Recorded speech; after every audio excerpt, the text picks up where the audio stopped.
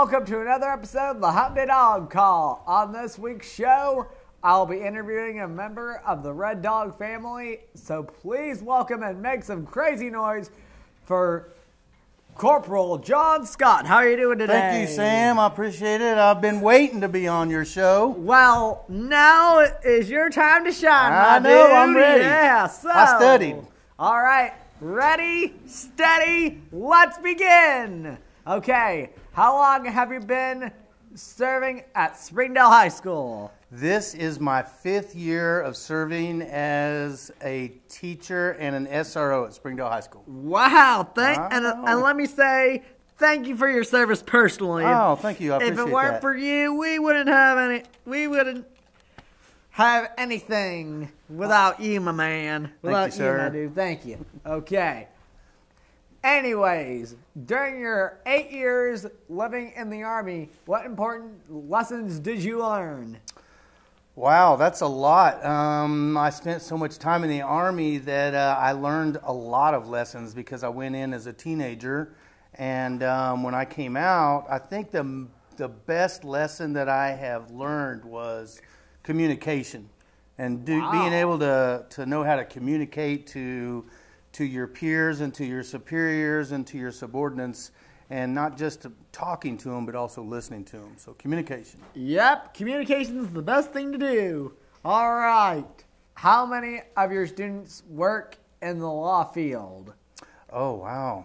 Um, so the Law Academy. This is the 21st year that the Law Academy has been going on here at Springdale High School, and I'm say we're up at around 180 to 200 students that have graduated from the Wow. the Bulldog Law Academy and have gone on to pursue some type of career in criminal justice or law. Wow, and I've seen some of your law students in my astronomy class. Mm-hmm. Yep, all right. If you could have any job besides being a cop, what would it be? Well, um, this is going to sound a little cliche, but I think uh, being a teacher. Uh, I, I like to train people. I did training in the military. I did training in the police department. and Now I'm teaching here, so probably a teacher. If you were stuck in an island with one person, what would it be and why? Oh, if I was stuck on an island with one person, uh, let me think. My wife.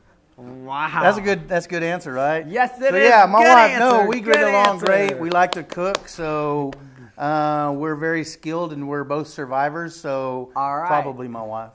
All right, good. Good kinda- answer. she's Good answer. too, so. Yeah. what type of food would you be if you were a food? Man, this is the hardest one. Uh, I'm gonna have to say venison. Wow. That's a deer. Yeah. Probably a deer. Arby's had had a venison sandwich once. Yeah, they're pretty good. Oh yeah. There's nothing better than hunting some deer and watching NASCAR. That's right. Another left-hand turn. Yeah, baby. If you could have any superpower, what would it be? Uh, seeing into the future. Wow. Yep, I'd know what was going on, and I that way I could, I could try to help people before something happened to them. All right. What is another use for a pencil besides writing? Well, the only thing I can think of is something from John Wick. So a weapon. Yeah, but you better watch out for the pencil robbers around here. I know. Look out for them. Yeah, yeah. All right. Final question.